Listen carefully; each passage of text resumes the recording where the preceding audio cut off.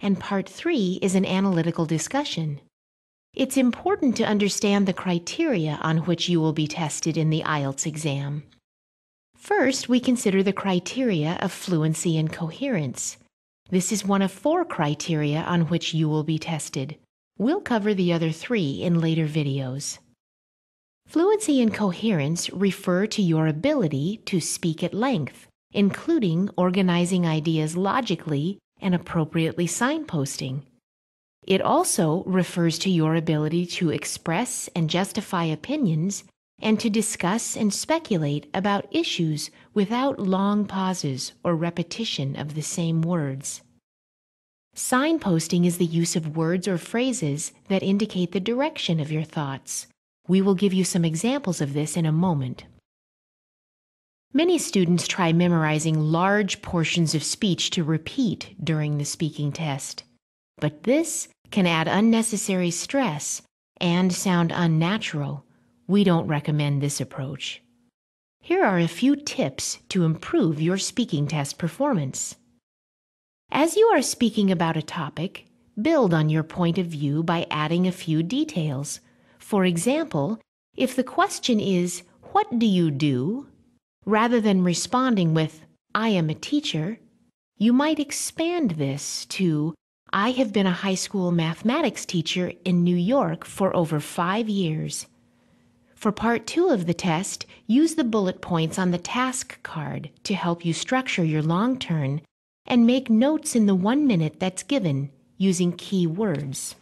In part three, particularly, it is important to develop your answers and to speak at length. You can do this by thinking of reasons, effects, comparisons, supporting examples, and personal experience. Just make sure you are signposting what you say. For example, discussing excessive TV watching, you might mention reasons, increasing numbers of TV channels compared to a generation ago, and the popularity of TV characters. Effects, increasing obesity levels, eyesight problems, and other health issues. Experience. My nephew watches nothing except cartoons. He will not study. Here are some examples of signposting for part three of the test. Compare contrast.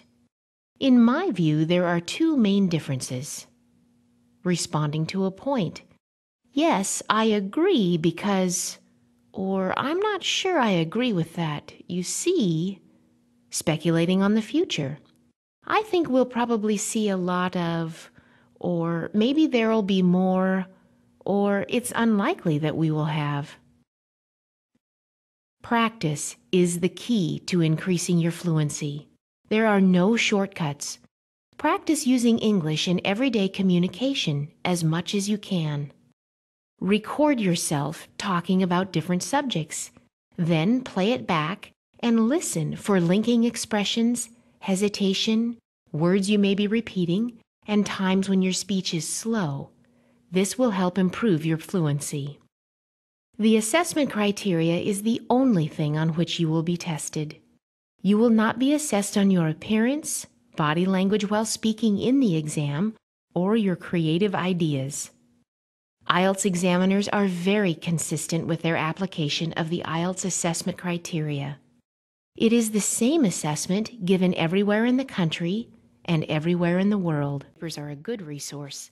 These can also help you keep up on the vocabulary of current affairs. Group new vocabulary into related subjects and learn these together rather than making long lists of unrelated words.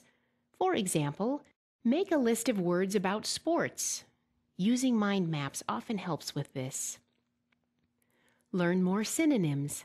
These are words or expressions which have a similar meaning. Knowledge of synonyms will help with all parts of the IELTS test. Try using a thesaurus. Make small word cards with the word written on one side of the card and the translation and an example sentence on the other side. You can then test yourself. Practice is the key not to memorize, but to practice discussing different topics, weaving in the vocabulary you have learned. Research shows practice improves test scores. Don't give up if you can't find the right word. Keep trying to explain what you mean, even if it takes a little longer. This is called paraphrasing. You will get credit for this. IELTS speaking tests include general everyday topics. Specialist knowledge isn't expected.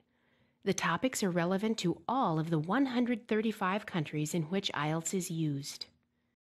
The range of grammar includes using a variety of complex structures. These are sentences with multiple bits of information.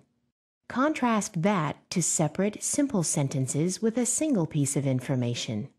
For example, just beside the station was a stadium which was built in the 19th century and where games are now held every weekend. It isn't expected that candidates are 100% accurate. However, control is important. The Band 7 definition for grammatical range and accuracy says frequently produces error free sentences, though some grammatical mistakes persist. It's not just the number of grammatical mistakes, but also how seriously these mistakes block communication. To improve your grammar, take these steps. Be prepared. Make sure that you know the speaking test format and what type of questions to expect in each section. Many tasks in Part 2 of the IELTS speaking test relate to the past, so you most likely use past tenses.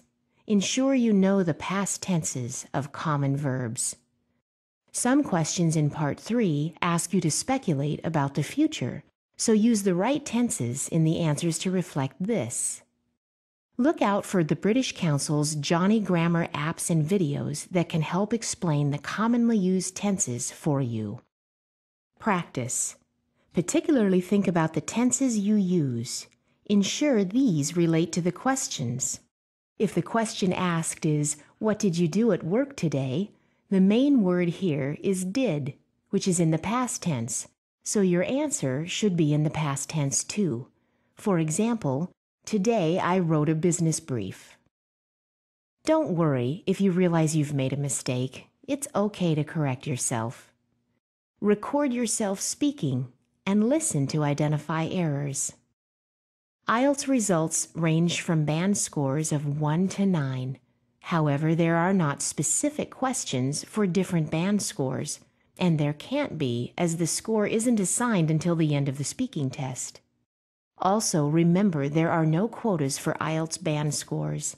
Each individual is scored on their confuse this. For example, euphemism.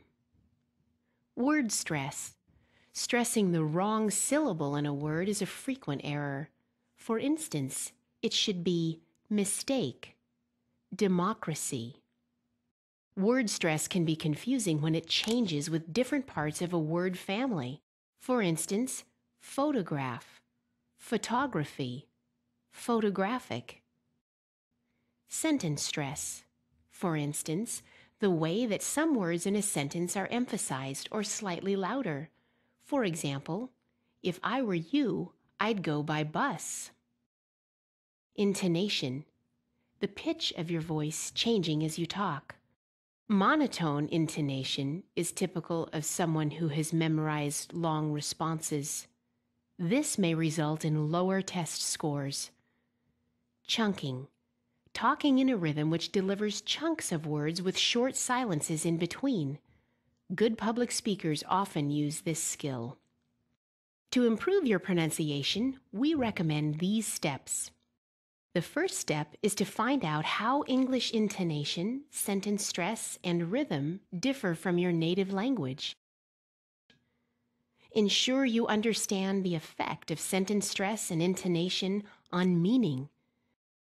Then practice using these in different ways. Refer to a dictionary to confirm the correct word stress if you are unsure.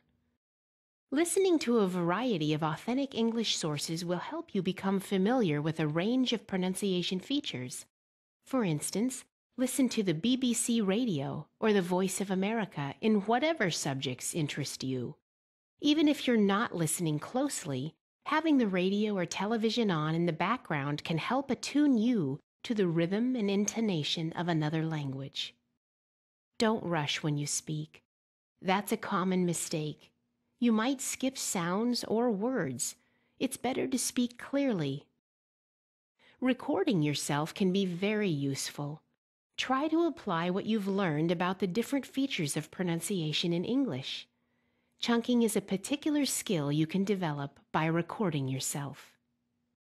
The face to face nature of the IELTS speaking test encourages you to develop the skills you will need to interact successfully with English speakers.